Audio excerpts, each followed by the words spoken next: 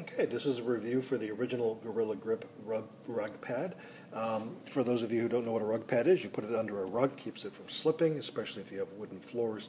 Uh, you need to have one of these if you're going to have um, a carpet or a rug on a wood floor.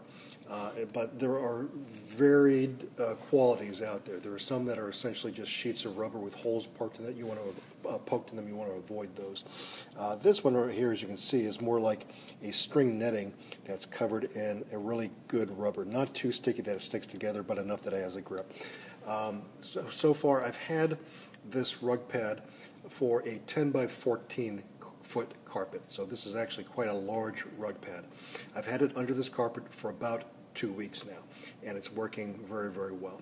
I'm extremely happy, give it a five-star rating.